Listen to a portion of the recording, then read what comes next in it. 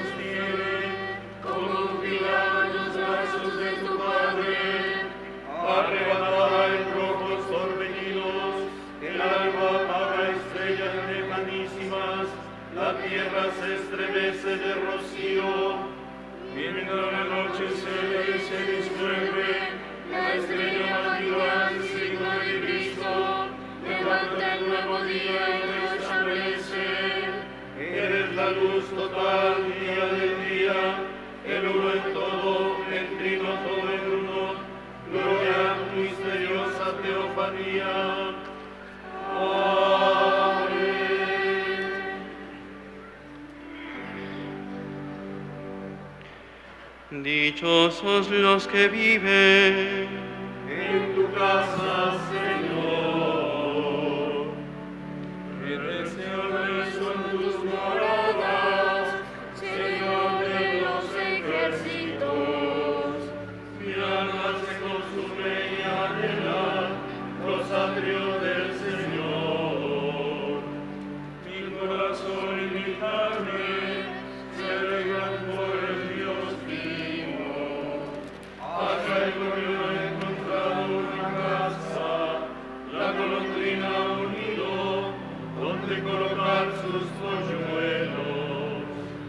escuchar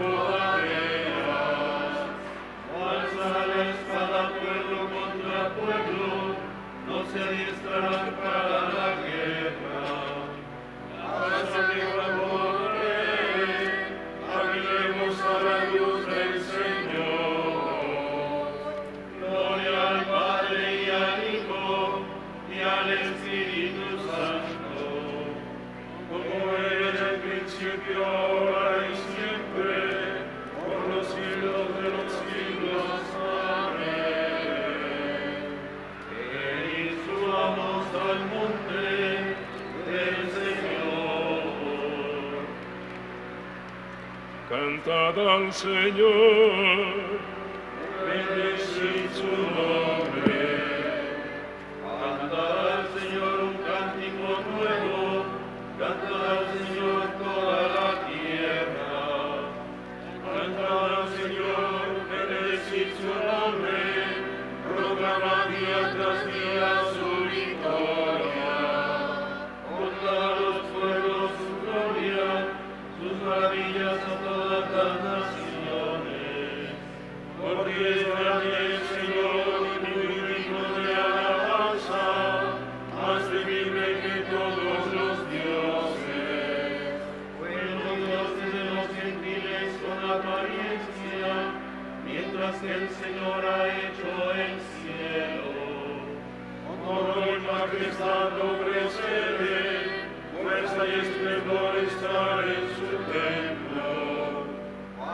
de los pueblos, aclamada al Señor, aclamad la gloria y el poder del Señor. Aclamad la gloria al nombre del Señor, entrad en sus atrios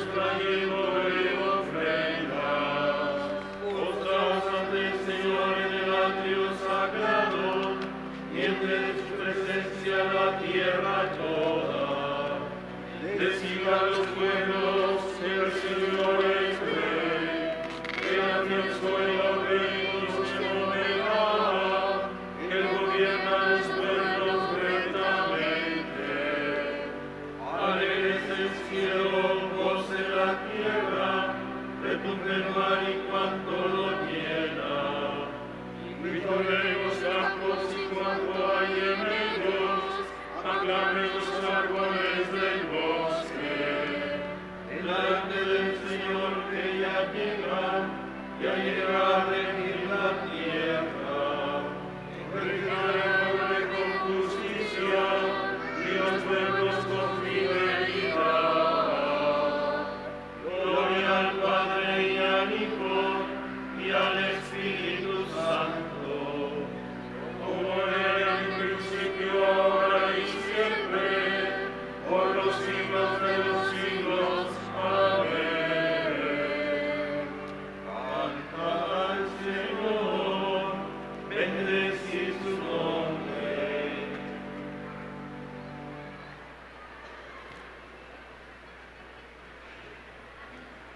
hablad y actuad como quienes han de ser juzgados por una, por una ley de libertad, pues habrá un juicio sin misericordia para quien no practicó misericordia. La misericordia triunfa sobre el juicio.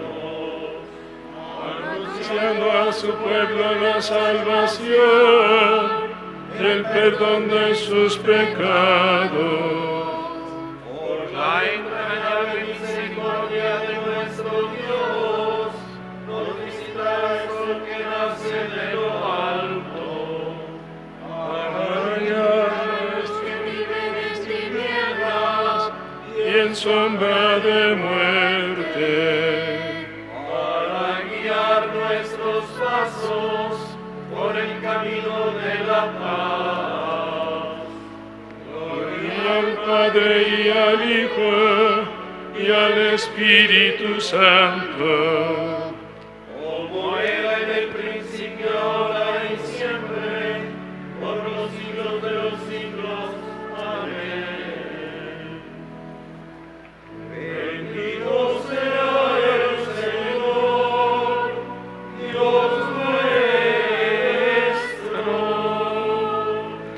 Invoquemos a Dios que puso en el mundo a los hombres para que trabajasen concordes para su gloria y digámosle, a ah, Señor, que te glorifiquemos.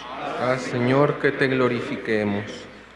Te bendecimos, Señor, Creador del universo, porque has conservado nuestra vida hasta el día de hoy.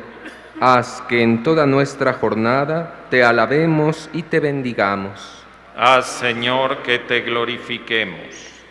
Míranos benignos, Señor, ahora que vamos a comenzar nuestra labor cotidiana.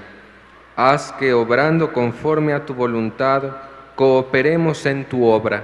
Haz, Señor, que te glorifiquemos.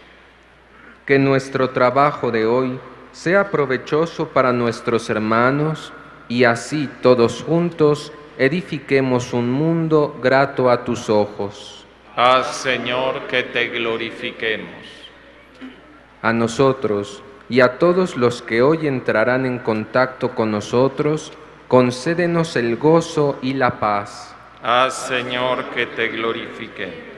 Llenos de alegría por nuestra condición de hijos de Dios, digamos confiadamente, Padre nuestro, que estás en el cielo, santificado sea tu nombre. Venga a nosotros tu reino. Hágase tu voluntad en la tierra como en el cielo. Danos hoy nuestro pan de cada día. Perdona nuestras ofensas, como también nosotros perdonamos a los que nos ofenden. No nos dejes caer en la tentación y líbranos del mal. Señor Dios, Rey de cielos y tierra, dirige y santifica en este día nuestros cuerpos y nuestros corazones, nuestros sentidos, palabras y acciones según tu ley y tus mandatos, para que con tu auxilio podamos ofrecerte hoy en todas nuestras actividades un sacrificio de alabanza grato a tus ojos. Por nuestro Señor Jesucristo, tu Hijo que vive y reina contigo en la unidad del Espíritu Santo y es Dios por los siglos de los siglos. El Señor esté con ustedes y la bendición de Dios Todopoderoso, Padre, Hijo y Espíritu Santo, descienda sobre ustedes.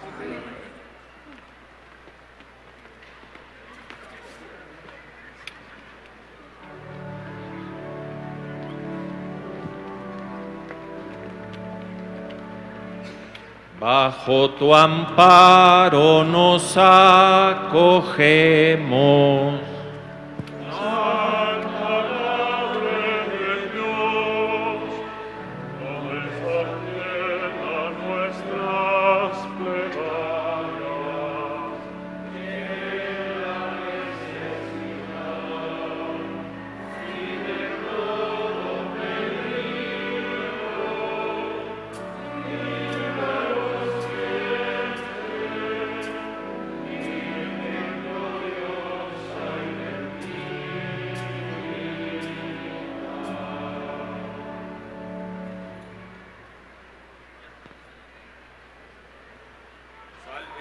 De gracia, eres llamada clementísima por los pecadores.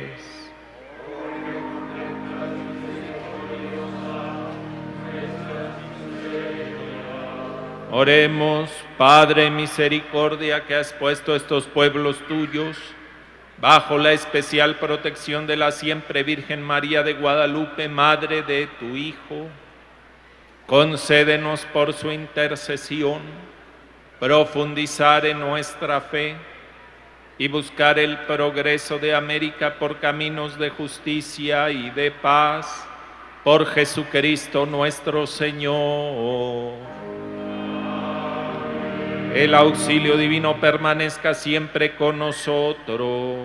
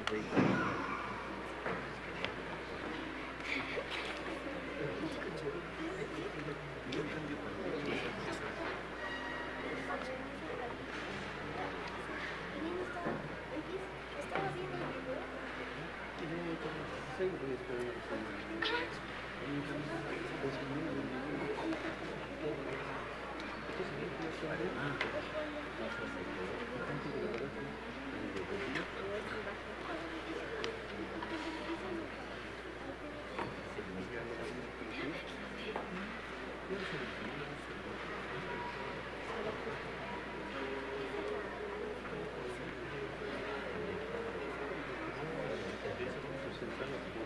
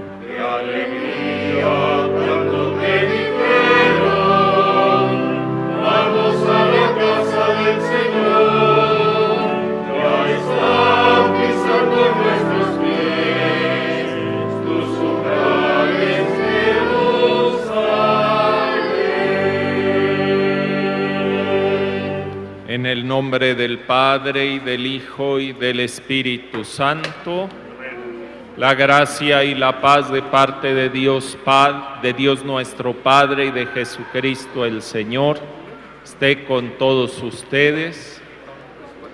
Sean bienvenidos, hermanos, a esta celebración eucarística aquí en la insignia y nacional Basílica de Santa María de Guadalupe que todos los días a las 9 de la mañana se ofrece por los bienhechores vivos y difuntos.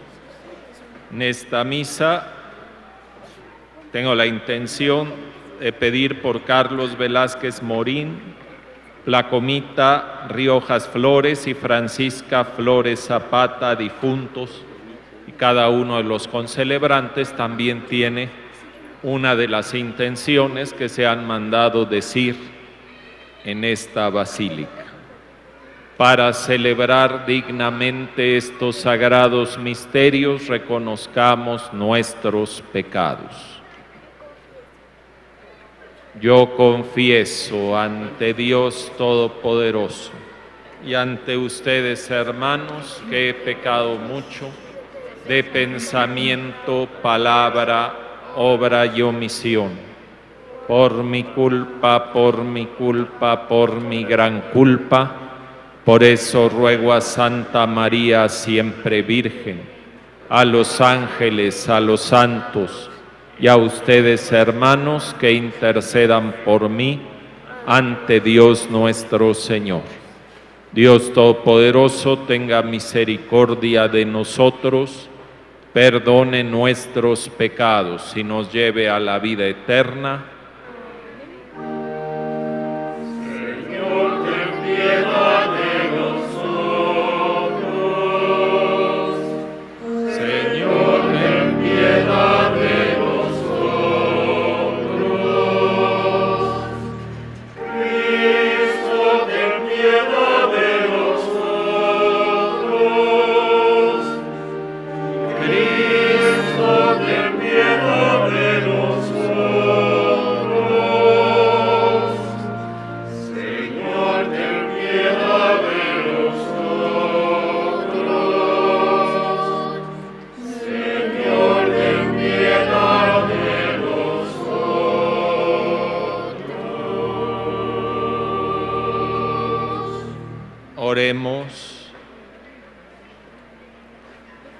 Señor Dios, que enseñaste a tu iglesia a cumplir todos tus celestiales mandamientos en señal de amor a ti mismo y al prójimo, danos un espíritu de paz y de be- benevolencia, para que tu familia entera se consagre a ti de todo corazón y alcance la concordia con la pureza de intención. Por nuestro Señor Jesucristo, tu Hijo, que vive y reina contigo en la unidad del Espíritu Santo y es Dios por los siglos de los siglos. Amén.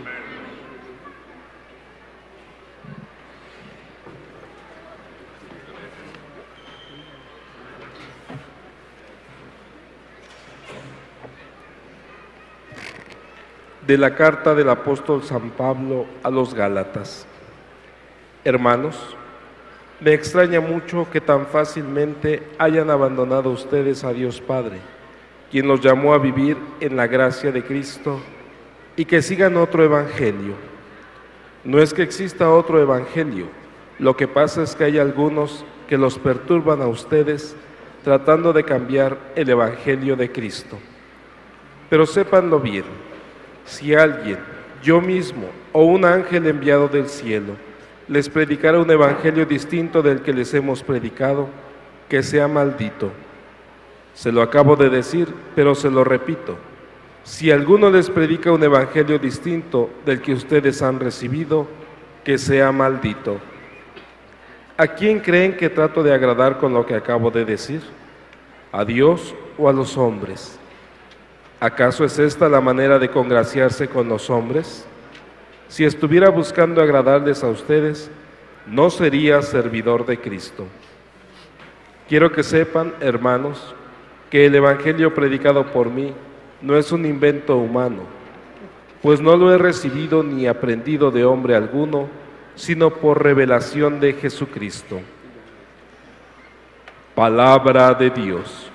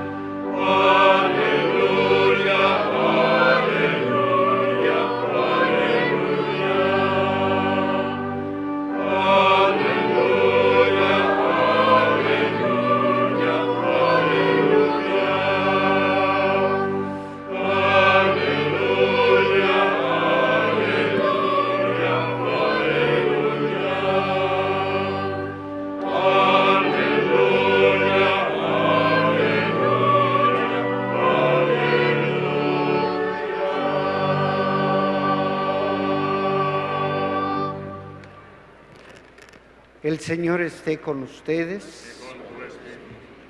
Del Santo Evangelio, según San Lucas.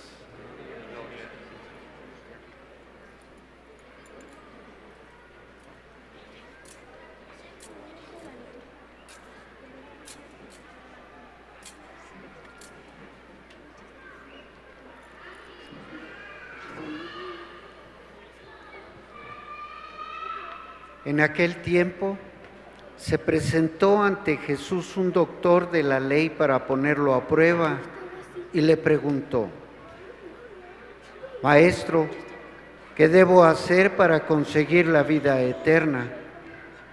Jesús le dijo, ¿qué es lo que está escrito en la ley? ¿Qué lees en ella? El doctor de la ley contestó, amarás al Señor tu Dios con todo tu corazón, con toda tu alma, con todas tus fuerzas y con todo tu ser, y a tu prójimo como a ti mismo. Jesús le dijo, has contestado bien, si haces eso, vivirás. El doctor de la ley, para justificarse, le preguntó a Jesús, ¿y quién es mi prójimo? Jesús le dijo, un hombre que bajaba por el camino de Jerusalén a Jericó cayó en manos de unos ladrones, los cuales lo robaron, lo hirieron y lo dejaron medio muerto. Sucedió que por el mismo camino bajaba un sacerdote, el cual lo vio y pasó de largo. De igual modo, un levita que pasó por ahí lo vio y siguió adelante. Pero un samaritano que iba de viaje, al verlo, se compadeció de él, se le acercó, ungió sus heridas con aceite y vino y se las vendó. Luego lo puso sobre su cabalgadura, lo llevó a un mesón y cuidó de él. Al día siguiente sacó dos denarios, se los dio al dueño del mesón y le dijo, cuida de él y lo que gastes de más te lo pagaré a mi regreso. ¿Cuál de estos tres te parece que se portó como prójimo del hombre que fue asaltado por los ladrones? El doctor de la ley le respondió, el que tuvo compasión de él. Entonces Jesús le dijo, anda y haz tú lo mismo. Palabra del Señor.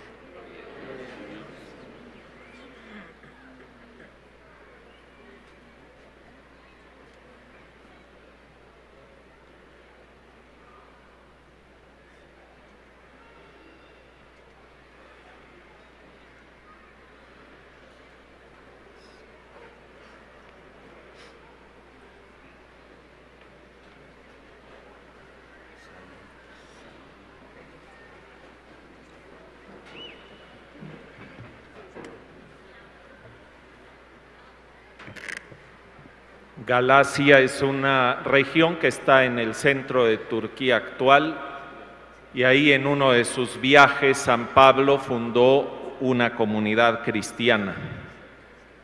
Era una comunidad de personas que no provenían del judaísmo, sino que eran paganas anteriormente a su conversión.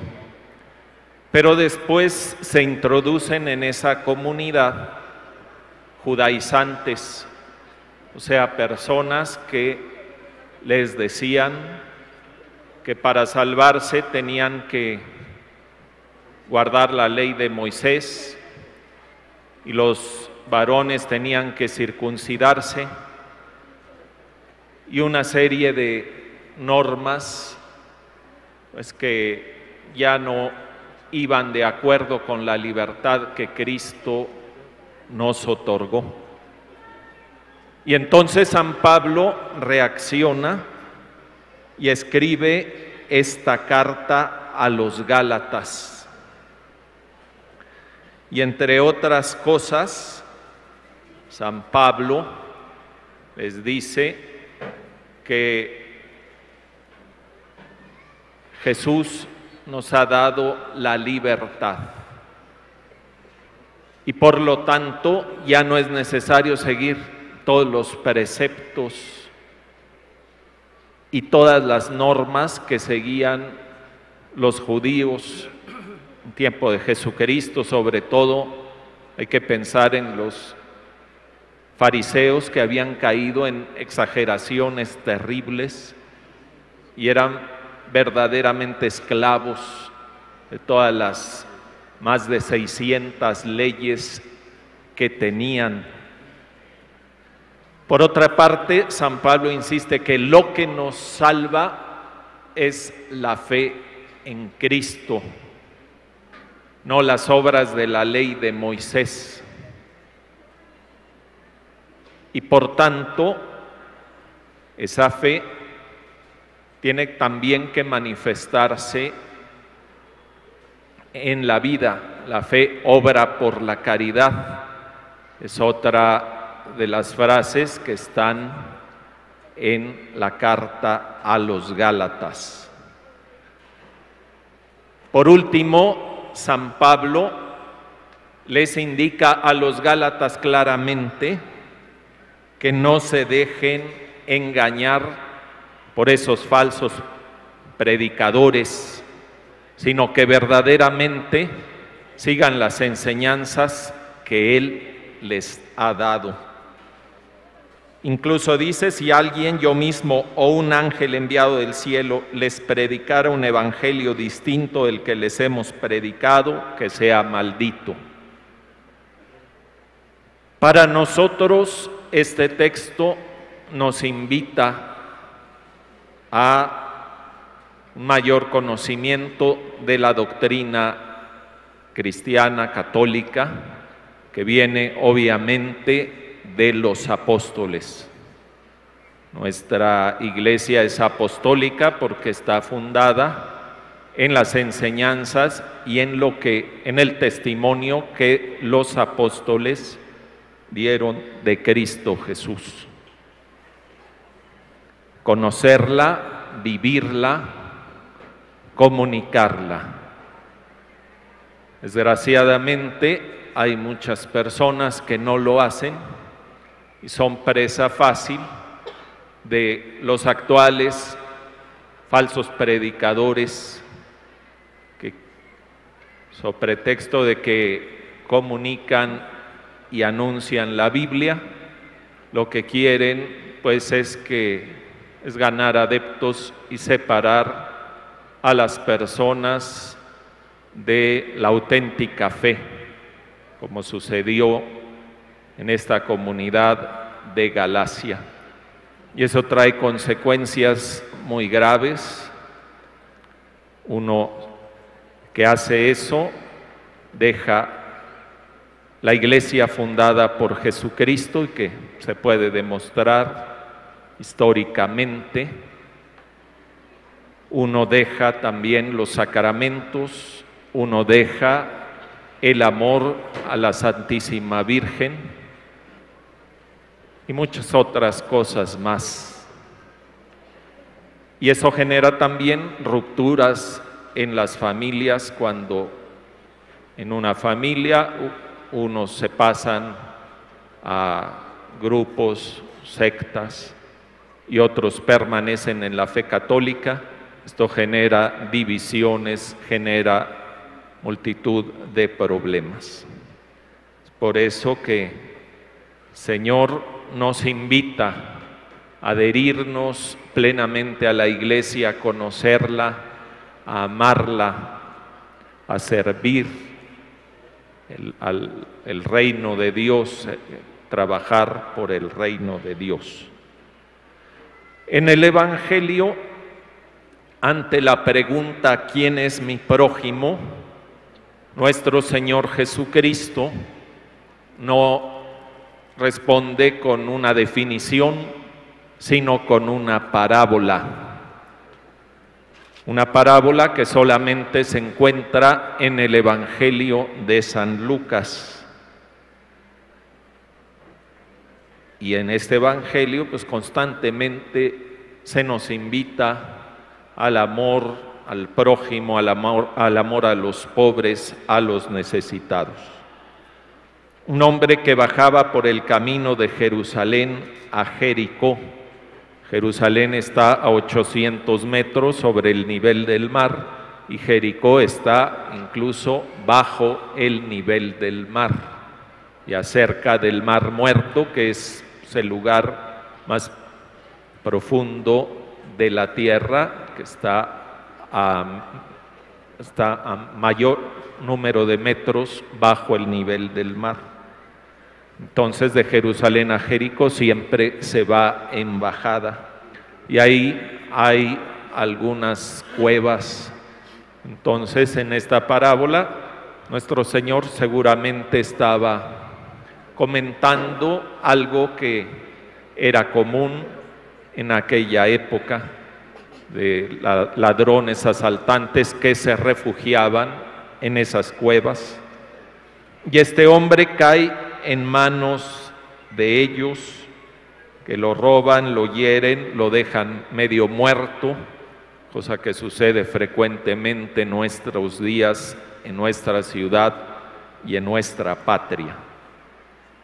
Y entonces primero pasa un sacerdote que era de su misma nacionalidad, era judío y era un hombre que sabía bien la ley de Moisés, que era el que estaba más obligado a prestarle ayuda a este hombre y qué es lo que hizo, pasó de largo. No quiso tener problemas, no quiso emplear su tiempo o emplear su dinero en ayudar a un compatriota. Después pasa un levita. ¿Quiénes eran los levitas? Los de la tribu de Leví. Y era una tribu que se dedicaba sobre todo al servicio del templo de Jerusalén. Eran cantores, lo que ahora serían sacristanes, o sea, personas que estaban al servicio de ese templo ese templo que era grandioso.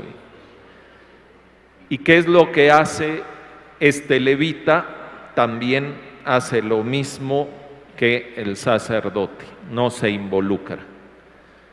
Pero después pasa un samaritano, los judíos y los samaritanos estaban en pleito. ¿Por qué? Porque cuando fue el destierro en Babilonia, los babilonios trajeron se llevaron a muchos judíos a Babilonia y trajeron también a muchas personas de aquellos lugares a esa tierra de Samaria. Y ahí hubo pues, un sincretismo y fruto de eso fue el pueblo samaritano. Los judíos no los querían, ni los samaritanos querían a los judíos. Eran pueblos que vivían odiándose. Y sin embargo, este samaritano que iba de viaje ve a aquel hombre y primero se compadece. La compasión es una de las cosas más hermosas que puede tener el ser humano, el sentir el dolor del prójimo, porque la compasión nos lleva a actuar. A veces hay compasiones estériles cuando uno dice, ay, pobrecito, fulano de tal, pero no mueve un dedo por él. Pero hay compasión que lleva a la acción como sucedió con este hombre. ¿Y qué es lo que hace? Lo, lo, unge sus heridas con aceite y vino y se las vendó. Era lo que tenía a mano, lo que se usaba para curar a los que tenían una herida. O sea, emplea lo que él puede para aliviar las heridas de este hombre. Luego lo puso en su cabalgadura y lo llevó al mesón. Empleó tiempo, probablemente tenía muchas cosas que hacer, estaba de viaje, lo esperaba su familia y sin embargo emplea su tiempo en, este, en atender a este herido, emplea pues, su esfuerzo, hace un esfuerzo para ayudarlo. Y no solo eso, sino que llega al mesón, porque en ese entonces no había hospitales, los hospitales son, son una creación de la iglesia católica y de la iglesia bizantina. En ese entonces no había hospitales. Y ahí en el mesón emplea su dinero para ayudar a este hombre. Y no solo eso, sino le dice, cuida de él y lo que gastes de más te lo pagaré a mi regreso. No escatima la cuestión monetaria, no escatima el dar dinero para el servicio de este desconocido, porque prácticamente era un desconocido para él. Jesús nos dice, anda y haz tú lo mismo. Es una invitación muy clara para que nos interesemos por los demás, por el que sufre. Generalmente cuando un, pasa una cosa similar, la mayoría de las personas no quiere involucrarse porque no quiere tener problemas. Pero este hombre samaritano no le importó lo que pudiera pasar con tal de ayudar a su hermano. La Santísima Virgen de Guadalupe también nos mueve a la caridad, como cuando Juan Diego tuvo que atender a su tío Juan Bernardino, que estaba enfermo, por eso trató de esquivar el encuentro con la Santísima Virgen por la premura que tenía de buscar un sacerdote para que fuera a auxiliar a su tío enfermo. Y la Santísima Virgen le sale al encuentro en las faldas del cerro.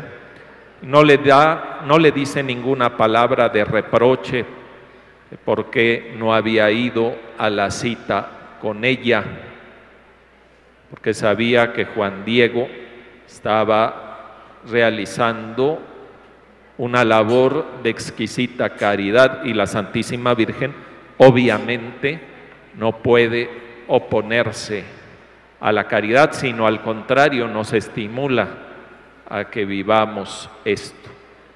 Y además ella realiza el milagro de curar a Juan Bernardino, o sea, soluciona el grave problema que tenía Juan Diego y la angustia que tenía por la enfermedad de su tío.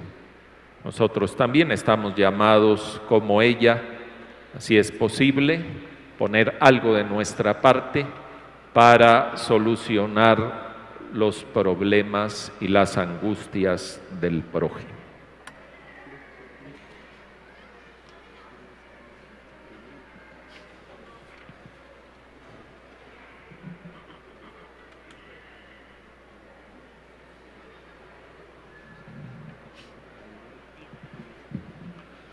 Oremos a Dios que vela por todas sus criaturas y supliquémosle diciendo, concédenos Señor tu espíritu. Concédenos, Señor, tu espíritu. Por el Papa Francisco y nuestro obispo cardenal Carlos, para que el Señor los proteja y ayude, oremos. Concédenos Señor tu espíritu. Por nuestra ciudad, para que conserve en el amor y la concordia a sus habitantes, oremos. Concédenos Señor tu espíritu. Por los pobres y oprimidos, para que les dé prosperidad y los socorra, oremos. Concédenos Señor tu espíritu. Por nuestros familiares y bienhechores, para que los recompense con sus beneficios, oremos. Concédenos Señor tu espíritu. Para que Dios nos conceda cooperar con el trabajo de nuestra jornada a la edificación de un mundo más grato a sus ojos. Oremos. Concédenos Señor tu espíritu. por nuestros hermanos Carlos Velázquez Morín, Placomita Riojas Flores y Francisca Flores Zapata, para que el Señor les conceda el descanso eterno y la resurrección al final de los tiempos. Oremos. Concédenos, Señor, tu Espíritu.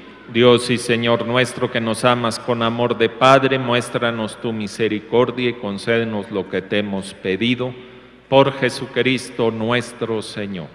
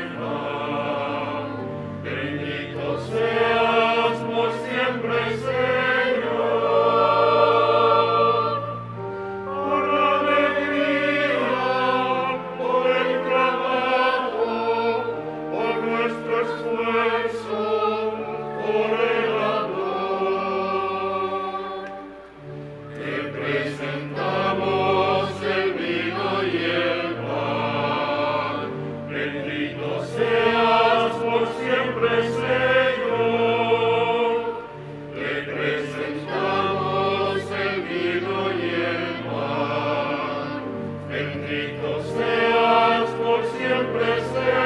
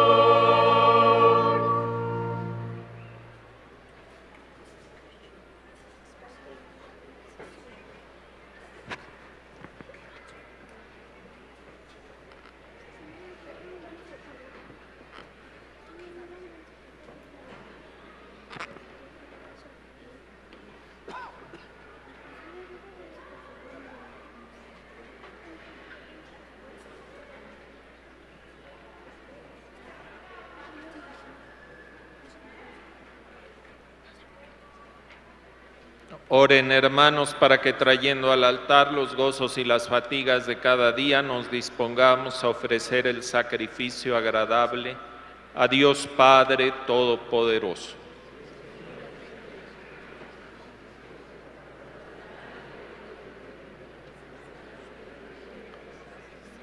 Señor Dios, que por medio de tus sacramentos y tus mandamientos nos renuevas conforme a tu imagen, dirige compasivo nuestros pasos por tus sendas, para que en virtud de este sacrificio que te ofrecemos nos concedas el don de la caridad que esperamos recibir de ti.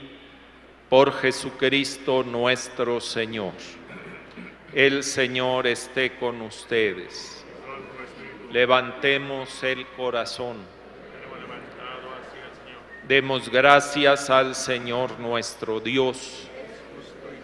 En verdad es justo darte gracias y deber nuestro alabarte, Padre Santo, Dios Todopoderoso y Eterno, en todos los momentos y circunstancias de la vida, en la salud y en la enfermedad, en el sufrimiento y en el gozo por tu siervo Jesús nuestro Redentor porque él en su vida terrena pasó haciendo el bien y curando a los oprimidos por el mal.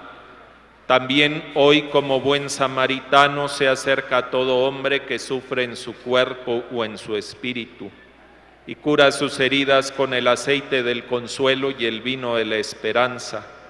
Por este don de tu gracia, incluso cuando nos vemos sumergidos en la noche del dolor, vislumbramos la luz pascual en tu Hijo muerto y resucitado.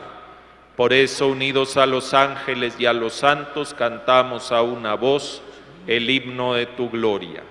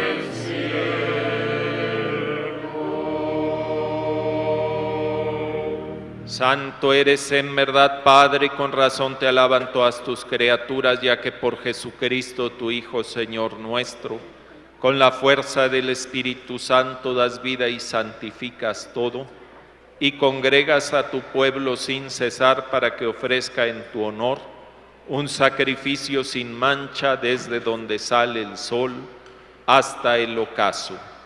Por eso, Padre, te suplicamos que santifiques por el mismo Espíritu estos dones que hemos separado para ti, de manera que se conviertan en el cuerpo y la sangre de Jesucristo, Hijo tuyo y Señor nuestro, que nos mandó celebrar estos misterios. Porque él mismo la noche en que iba a ser entregado tomó pan, y dando gracias te bendijo, lo partió y lo dio a sus discípulos diciendo, tomen y coman todos de él, porque esto es mi cuerpo que será entregado por ustedes.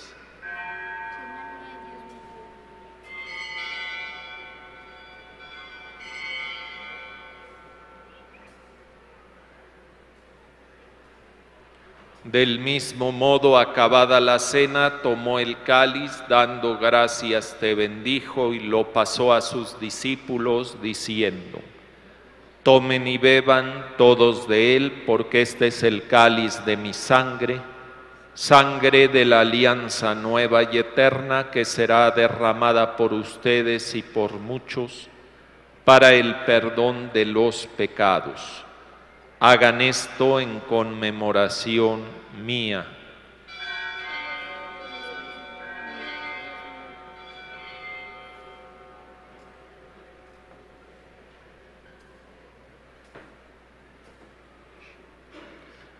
Este es el misterio de la fe, Cristo nos redimió. Cada vez que comemos de este pan y bebemos de este cáliz, anunciamos tu muerte, Señor, hasta que vuelvas. Así pues, Padre, al celebrar ahora el memorial de la pasión salvadora de tu Hijo, de su admirable resurrección y ascensión al cielo, mientras esperamos su venida gloriosa, te ofrecemos en esta acción de gracias el sacrificio vivo y santo. Dirige tu mirada sobre la ofrenda de tu iglesia y reconoce en ella la víctima por cuya inmolación quisiste devolvernos tu amistad, para que fortalecidos con el cuerpo y la sangre de tu Hijo y llenos de su Espíritu Santo, formemos en Cristo un solo cuerpo y un solo espíritu. Que Él nos transforme en ofrenda permanente para que gocemos de tu heredad junto con tus elegidos, con María, la Virgen Madre de Dios, su esposo San José, los apóstoles y los mártires, San Juan Diego y todos los santos por cuya intercesión confiamos obtener siempre tu ayuda. Te pedimos, Padre, que esta víctima de reconciliación traiga la paz y la salvación al mundo entero.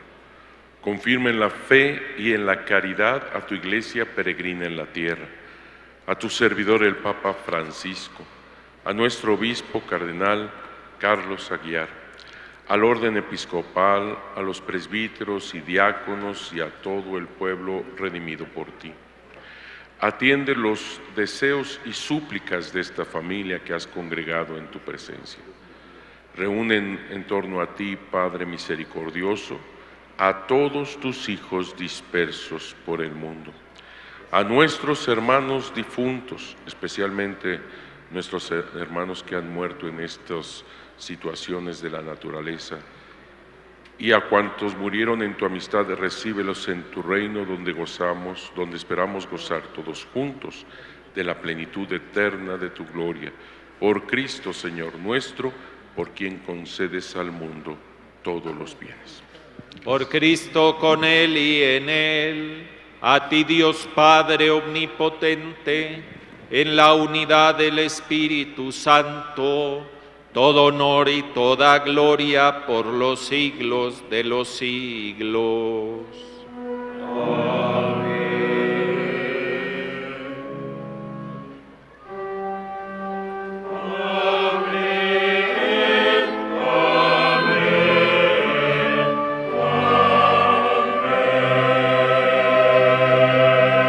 Llenos de alegría por ser hijos de Dios, digamos confiadamente la oración que Cristo nos enseñó. Padre nuestro que estás en el cielo, santificado sea tu nombre, venga a nosotros tu reino, hágase tu voluntad en la tierra como en el cielo. Danos hoy nuestro pan de cada día, perdona nuestras ofensas como también nosotros perdonamos a los que nos ofenden. No nos dejes caer en la tentación y líbranos del mal. Líbranos de todos los males, Señor, y concédenos la paz en nuestros días, para que, ayudados por tu misericordia, vivamos siempre libres de pecado y protegidos de toda perturbación mientras esperamos la gloriosa venida de nuestro Salvador Jesucristo. Señor Jesucristo, que dijiste a tus apóstoles, la paz les dejo, mi paz les doy, no tengas en cuenta nuestros pecados, sino la fe de tu iglesia, y conforme a tu palabra concédele la paz y la unidad tú que vives y reinas por los siglos de los siglos, que la paz del Señor esté siempre con ustedes. Y con tu espíritu. Dense fraternalmente un saludo de paz.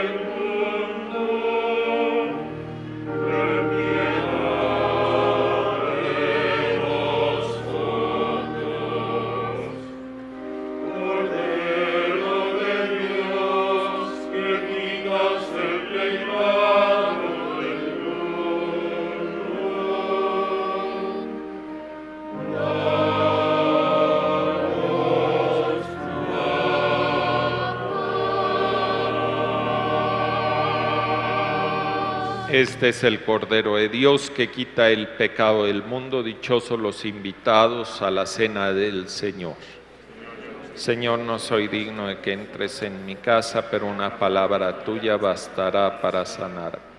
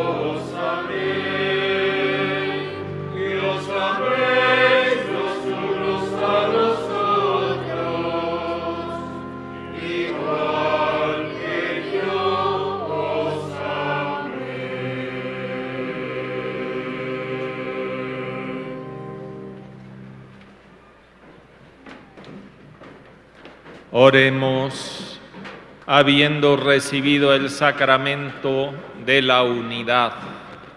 Concede, Señor, a quienes hemos convivido hoy en tu casa en santa concordia, que poseamos aquella paz que hemos dado y conservemos la que hemos recibido. Por Jesucristo nuestro Señor. Hermanos míos, de parte del Venerable Cabildo, los queremos invitar, como siempre, al Rosario del Amor Guadalupano todos los días 12. Pero este día 12 de octubre, que ya está muy cerquita, 12 de octubre, es muy especial aquí en la Basílica de Guadalupe, ya que se celebran muchas cosas, entre otras la coronación de la imagen de Nuestra Señora de Guadalupe, el traslado de la imagen a este recinto, a esta casita sagrada. El 12 de octubre es muy importante también por este descubrimiento de América, pero que nosotros decimos viene el Evangelio por primera vez aquí, por eso es tan importante ese día. Por eso a las 12 del día va a venir el nuncio, el señor nuncio, para presidir la misa a las 12 del día. El día 12 de octubre, a las 12 del día, es la gran misa de las rosas que se llama, y como les digo, a las 7 de la noche, el Rosario del Amor Guadalupano, que siempre comenzamos en la esplanada del Bautisterio.